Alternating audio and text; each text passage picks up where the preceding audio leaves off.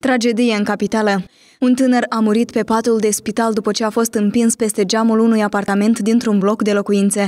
Tragedia a avut loc în data de 1 martie pe strada Academiei din cartierul Telecentru al capitalei. Ofițerul de presă de la Poliția Capitalei Natalia State a declarat că tragedia s-a produs acasă la suspect.